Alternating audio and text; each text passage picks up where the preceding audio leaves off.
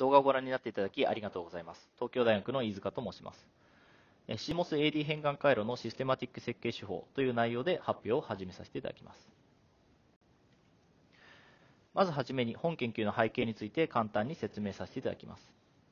皆様ご承知の通り、プロセス技術の進展に伴い、集積回路設計はますます複雑になっており、特にアナログミックスとシグナル回路の設計においては、シミュレーションに頼った最適化が行われることが多くなっています。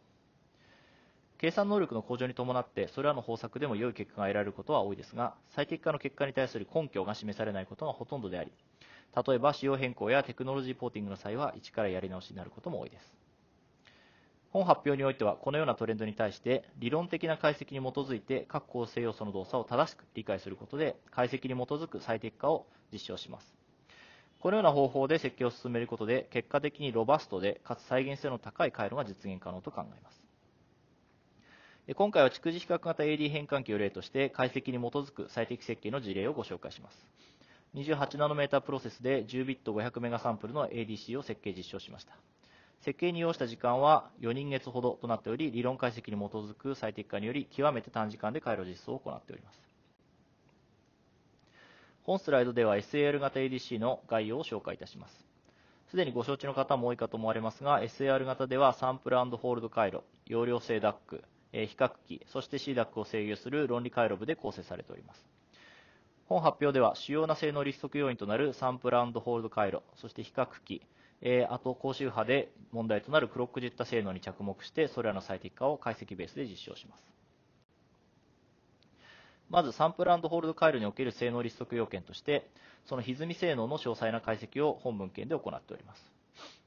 こちらに示します3つの主要因に対してそれぞれ解析的な式を導出しています。興味深い点は、これらの歪み性能は各種の設計パラメータ及び信号周波数に異なる依存性を示すということです。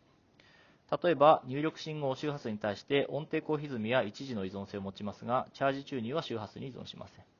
ターンオフタイミングは2次の依存性を持ち、ここに示されるように、低周波ではチャージ注入、周波数が上がってくると音程高、さらに高周波ではターンオフタイミングと立足要因が変化します。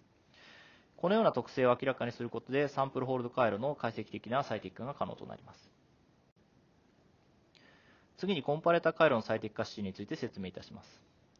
こちらの文献にてよく使用される比較器の動作解析及び最適化設計指針がまとめられております。ここではコンパレータの選択とそれらの特徴について簡単にまとめておりますが、一般的にストロングアーム型と呼ばれるシングルテール型とダブルテール型と呼ばれるこちらのような構造について比較を行い、その利害特質がまとめられています。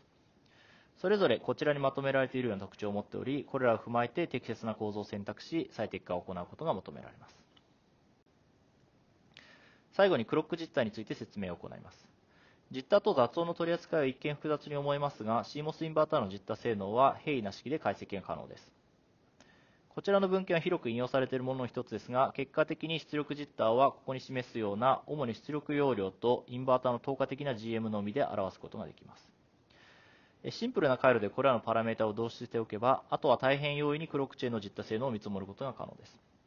実際に設計時に手計算で求めた実多性能は65フェムトセカンド、ポストレイアウトシミュレーションの結果が66フェムトセカンドと、かなり角度の高い解析が可能となっています。これらの設計最適化を通して実際に試作を行った結果をまとめます。こちらのグラフは3次高調波歪みの実測値とサンプルホード回路における解析結果をプロットしたものであり、実践で示される解析結果と実測は良い一致を示しております。全体性能の指標として FOM での比較を行った結果では、最近の ISSCC 及び VLSI シンポジウムで発表された単一チャンネル SAR ADC との比較において、こちらの性能バウンダリにあり、 state of the art の性能を短期間で実証したことを示しています。最後に性能律速要因を明らかにするため、各種雑音の影響をシミュレーションにより検証しています。まず理想的な10ビット ADC では SNR がおおよそ 62dB となりますが、ここにコンパレーターと KT オーバーシー雑音を含めますと 3dB ほど SNR が劣化します。さらに、主に CDAC のばらつきによる DNL の影響を加味すると 2dB ほど劣化し、算出した65フェムトセカンドの実態を加味すると、こちらの高周波で SNL が若干劣化します。えさらに、え2次高調波、3次高調波歪みの実測値を加味するとこちらの結果となり、え実測の SNR、そして SNDR と重ねてプロットするとこのようになります。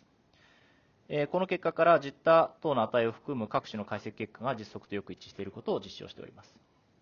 以上で発表を終わらせていただきます。ご清聴ありがとうございました。